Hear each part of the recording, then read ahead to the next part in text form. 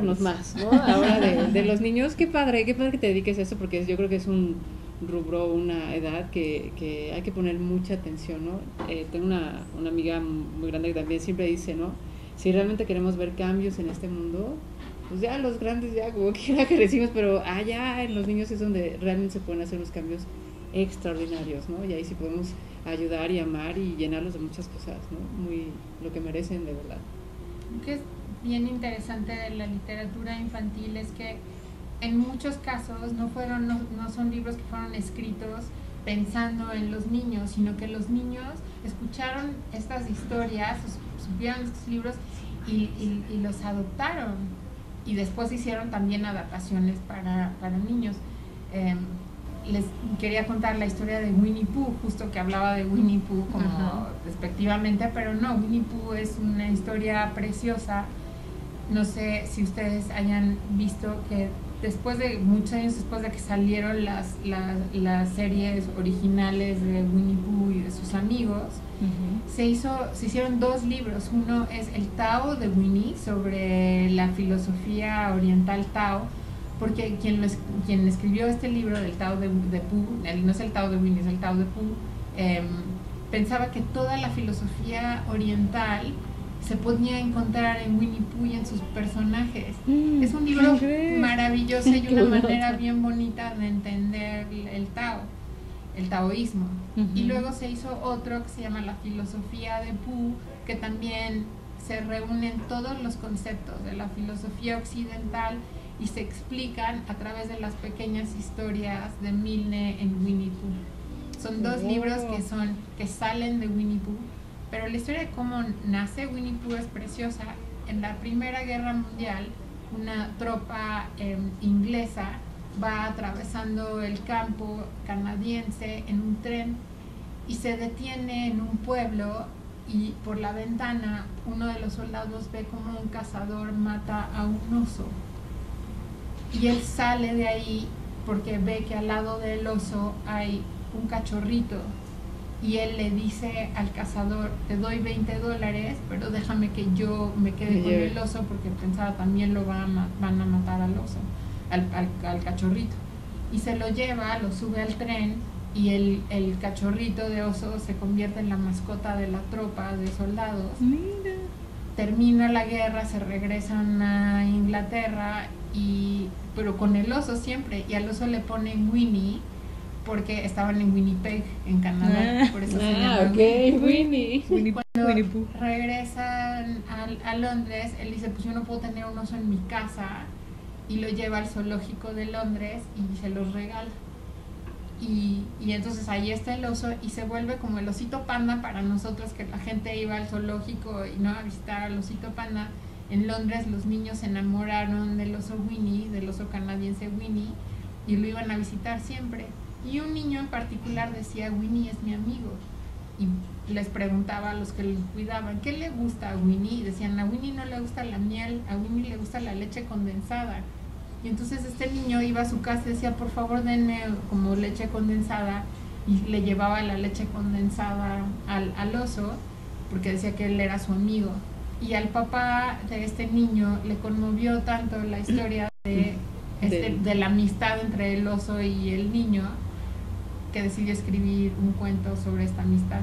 Y ah, es, el niño se llama Christopher Robin y es el hijo de Alexander Milne, quien escribió Winnie Pooh. ¡Wow! ¡Qué increíble! Y para darle amigos, ellos vivían en una casa en, en el bosque, que es el bosque de los 100 acres, que es mm. el bosque que aparece en Winnie Pooh. Y los personajes, no sé si ustedes se acuerdan, son, de, son, de, son de peluche.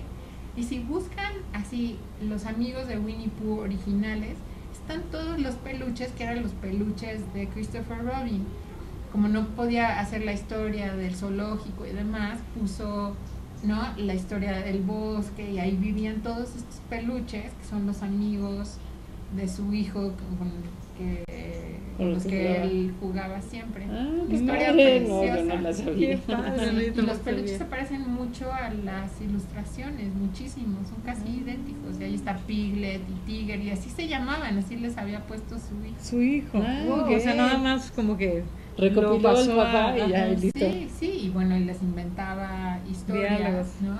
Y, y Winnie Pooh es como es chistoso porque es como un poco sonso, como que no entiende muchas cosas, pero a través de este vacío que él tiene de conocimiento, porque pues él, él está, mm, está a la vez muy abierto y a través de las preguntas que él hace son preguntas esenciales.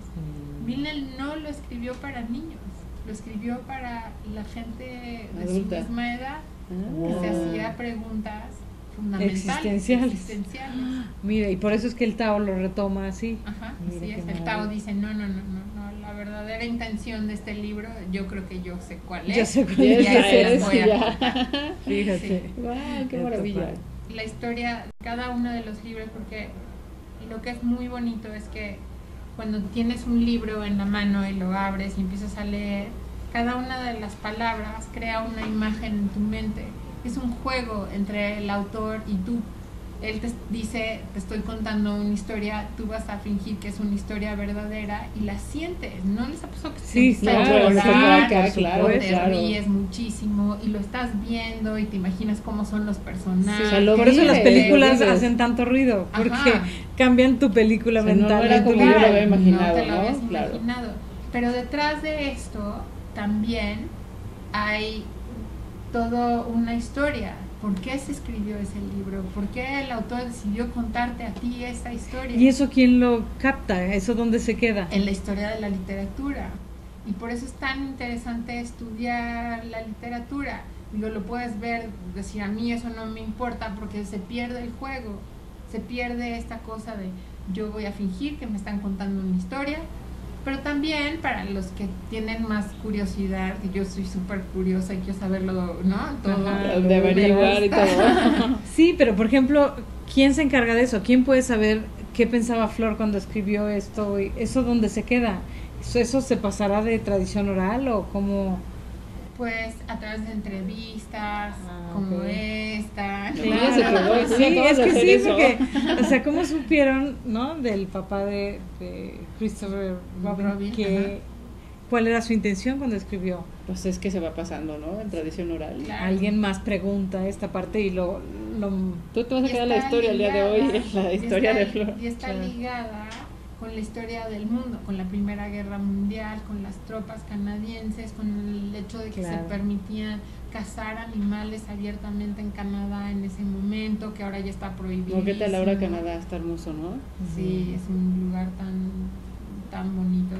Yo lo es un lugar muy civilizado, muy, con gente muy inteligente y pensante. Es un lugar que a mí me gusta Muy cuidado, sí. Sí, muy bonito. Hay que ir a visitar Canadá.